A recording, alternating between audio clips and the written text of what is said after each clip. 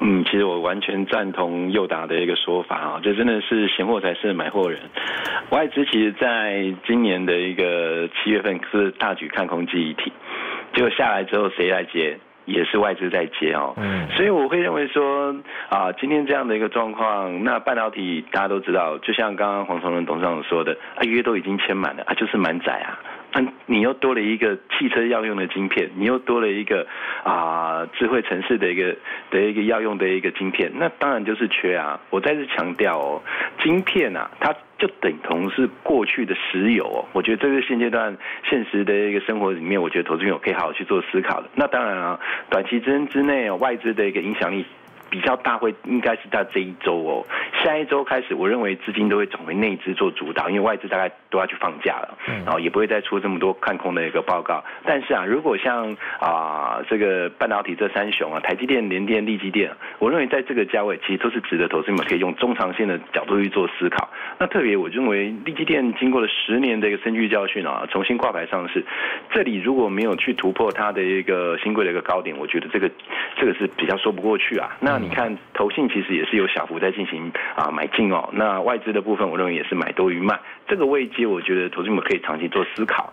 那倒是说，今天短线上的资金在做一个比较快速的一个移动哦。因为今天看得出来，因为昨天的一个美股的关系，美股的一个道琼是跌幅相对最少的。嗯。好，那你看到费半大跌了超过四个 percent，好，纳斯达克也是呈现一个比较重挫，所以科技股今天是比较承压，反而资金就转到哪里去？在传产，对不对？你可以看到啊，刚刚我看到那个啊，一四四零的南纺，哇，这个股价从底部往上反弹，投信居然在过去两天连买连买了都超过两千啊，一个是两千九百五十二张，一个是两千八百四十张，那股价就悄悄的做一个突破。近期的资金有往这些相对低位接，然后有获利，然后再进行反映它明年有可能高值率的一个概念。再加上说，我看到，今天有一个比较大的新闻哦，是像啊 Nike，它要收购一家叫做 RTFKT 的这个虚拟球鞋制作公司，它要干嘛？布局元宇宙，所以我看到这样子的情况，我就帮他找到一档个股哦，就是啊，这股价也是在底部整理很久，那近期要面临到它这个产业旺季啊，服装要补库存的一个时间点，然后它又是 Nike 的上游供应链，那前三季的 EPS 有一点五八元，那我对照一下啊，这个一四四零的南纺。啊，一四四零南纺前三季啊是一点五六元，股价竟然二二十六点七元哦。那我会建议投资朋友可以开始留意这档代号一四五五的吉盛啊，同样是纺织股，同样是传产股，今天呢啊相对的传产股表现都不错。那纺织股的话，那当然近期有一个新的一个新闻又有说到，美国已经正式啊啊通过取。针对于像新疆这种使用比较哦压迫劳力的这一样子的一个公司的产品啊，地区的产品，它都是限制限制购买所以这个也就带动今天啊，不管是。资产题材的南纺，还有就是整个纺织题材、棉花题材的南纺往上进行大涨。那我认为同样族群里面，一四五五的吉盛获利状况其实比它还要再好一点，而且主要都还是本业为主哦。那看它今年的一个成长状况啊，第四季已经开始要进入传统的旺季，在冬天冬天到了要开始补库存，再加上说我们看到近期它的一个产品有新的一个发展，也就是电动车的轻量化，这是现阶段所以电动车里面最重要的一个事件之一哦。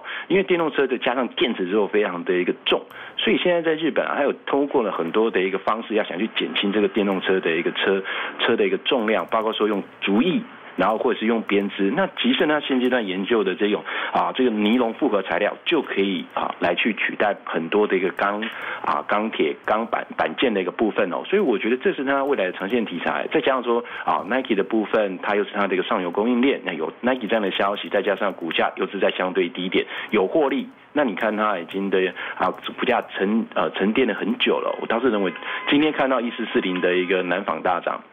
我认为如果没有要去追追高的投资朋友，也可以去留意到啊，这位阶比较低的一四五五的一级胜哦。呃，丰老师，其实今天南纺会涨哦，一部分是这这个本业发展的不错，因为呢订单已经看到明年的第二季了。但是另一个部分就是所谓的资产股题材哦，因为现在美国的升息，如果明年真的哦陆续的升息三次，升息三码，当然呢会影响到资金的紧缩。那比较能抗通膨的，当然就是所谓的资产股题材。有土地哦，就是当当靠山哦。所以现在南方领军工之下呢，资产股到底还算不算是物美价廉？今天相对有涨的，像是您看二五零四的这个国产哦，国产近期呢外资跟投信的买盘也很积极，今天真的是越走越高，看到了一个。波段新高哦，八月以来的新高二十九点九五元，要去挑战整数关卡了。另外还包括了一七二二的台肥，台肥也是近期投信有在买的哦，股价在季线附近止跌之后反攻了。另外还包括二三七的大同，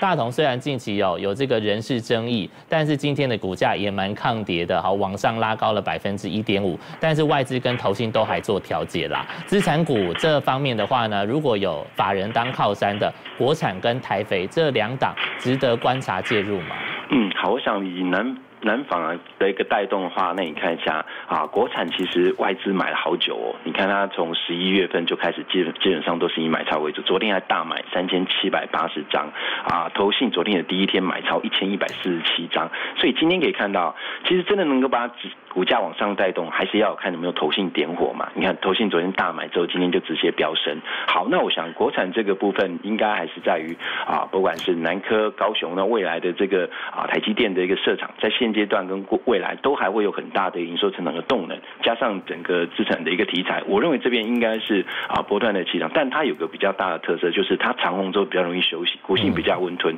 我倒是不会建议说，投资没有看到外资大买，然后隔天大涨的时候，我相信啊，今天天啊这个投信法人跟外资法人应该还是会同时大买，但是下一周我认为它的一个爆发力就不会这么强。但是如果拉回来看，像一七二二的台肥这个位阶，我觉得可以可以特别留意哦，因为它除了所谓的一个资产概念之外，还有就是所谓的一个啊钾肥啊，其实现阶段的一个价格是呈现一个大涨哦。然后就是尿素，我们最近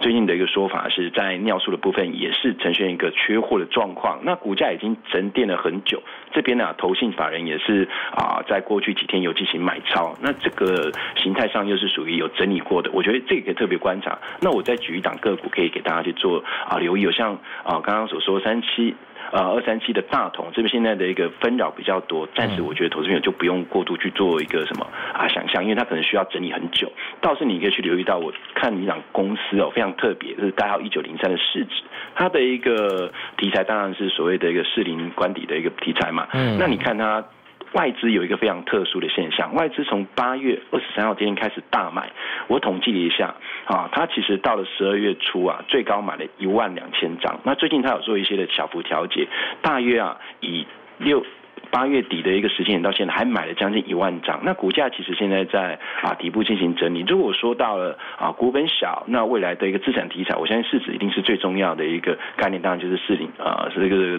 资产的一个概念了。那它股票的一个部分，如果说啊在整个投信及前段时间也有小幅的买进啊，买的不多，那未来有没有机会就往上做一个爆发？我觉得中小型的一个股票如果在低档的位阶，我觉得爆发力会更强。就像啊我们在前几天跟大家讲的。然后八四三一的汇赚科，嗯，我们那时候有跟大家讲说，哎，它的一个成交量比较小哦，但是因为营收成长的一个动能看起来非常强劲，又有苹果的一个概念，还短短几个交易日也都来到了创短线上反弹的一个高点。我会用这个角度去提醒大家说，如果同样题材的公司它已经有大涨了，而且法人已经大买了，那如果说是外资大买，但是没有大涨之前，我觉得投资朋友来去做参考，我觉得它的一个上涨的空间会比较大。